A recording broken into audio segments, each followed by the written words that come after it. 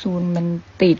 เหนียวหนึบมากแล้วก็แคปซูลมันแตกมัน ตอนนี้ทางแบรนด์ได้รับทราบปัญหาที่เกิดขึ้น แล้วได้ปรับปรุงแก้ไขในทันทีกราบขอบพระคุณลูกค้าแล้วก็ตัวแทนที่ยังมีความเชื่อมั่นในแบรนด์เดลล่า